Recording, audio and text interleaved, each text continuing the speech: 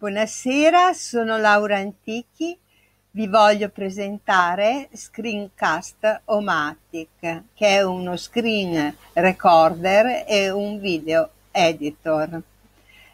Nella casella di ricerca di Google scriviamo Screencast-O-Matic e clicchiamo su eh, Screencast-O-Matic Screencorder Recorder and Video Editor, che è la prima scelta. Ci porta al sito, al sito bisogna registrarsi, io sono già come vedete registrata e uh, uh, quando farete start recording for free vi uh, chiederà di scaricare l'Answer Uh, io il Lancer l'ho pure scaricato, quindi start recording for free. Uh, uh, Lance Free Recorder. Ok, vedete che si apre la finestra per aprire lo screen recorder Lancer. Clicco su questo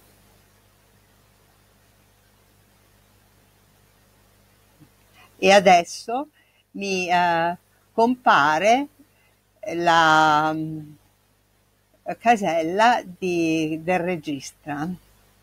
In questa casella ho diverse opzioni di uh, registrare solo lo schermo e non la webcam, eh, di eh, registrare solo la webcam e eh, non lo schermo, di registrare entrambi.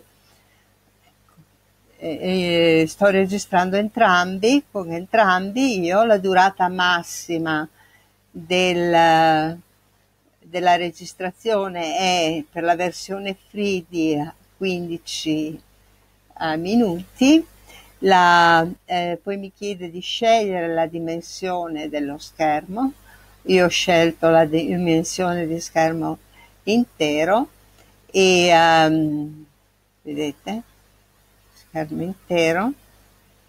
E uh, poi uh, mi, nelle preferenze potete andare a settare eh, una serie di preferenze e soprattutto sapere che eh, con il tasto Alt più P della tastiera si eh, mette in pausa la registrazione. Questa è un'utilità molto utile che di, quindi ci sono un, una serie di settaggi che possono essere eh, fatti da uh, preferenze. Do l'ok, eh, ora mh, posso iniziare la registrazione, ma prima di farlo chiudo questa finestra di uh, istruzioni e di settaggio. Chiudo la finestra con eh, il tasto eh, rosso avvio la registrazione.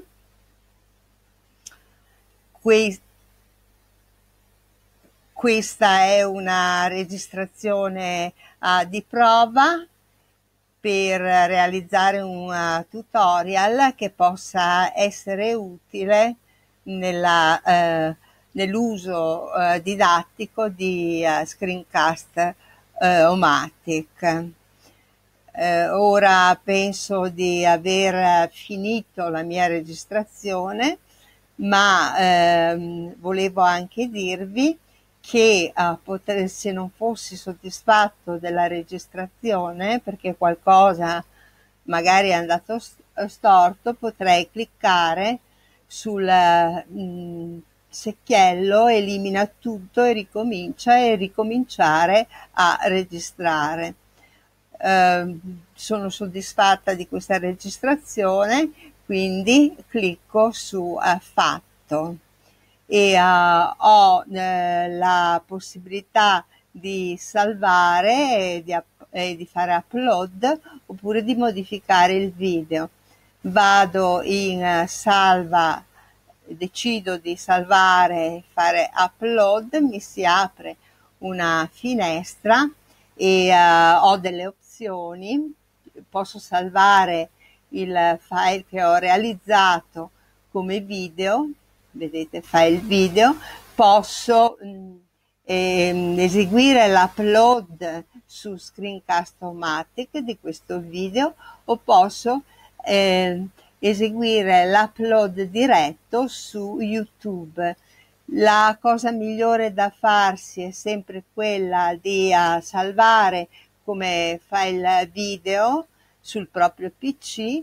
Eh, vi ricordo che non sempre l'upload diretto da qui eh, su YouTube riesce bene, quindi eh, conviene prima salvare il file video sul proprio PC e poi fare l'upload dal proprio PC sul, eh, su YouTube.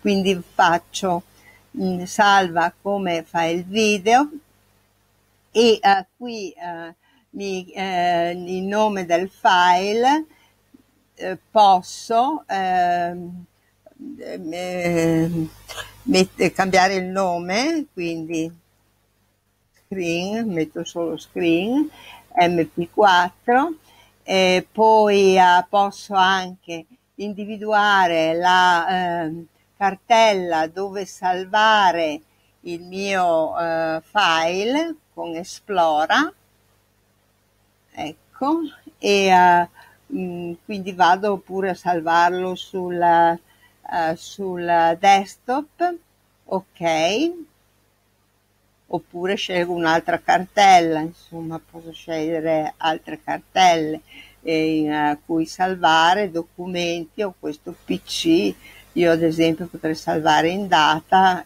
eh, che ho un altro disco, vabbè. E, um, posso salvare in D ad esempio.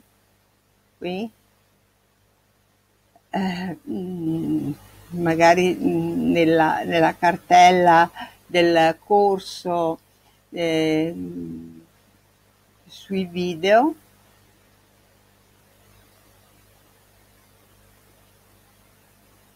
Eh, scusate. Salvo qui ok e uh, poi mi chiede mh, mm, di, um, di, pubblicare il mio video, ossia di salvarlo, pubblica e in un attimo dovrebbe mh, mm, essere salvato perché eh, questo video è uh, molto breve, quindi il tempo per il, il rendering eh, dovrebbe essere breve mi dà la possibilità di riprodurre il video per vederlo, di esplorare la cartella, di copiare il percorso prima di, avere, di cliccare su fatto. Riproduco il video.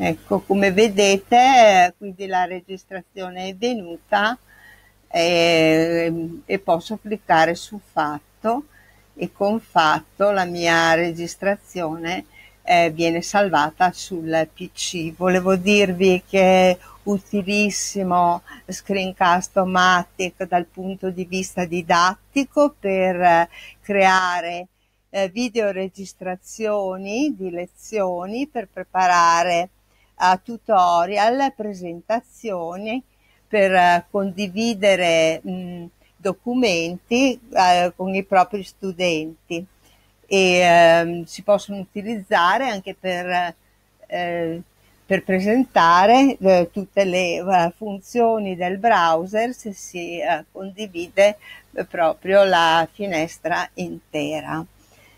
Ecco, vi saluto, spero che questo tutorial vi sia stato utile. Buonasera.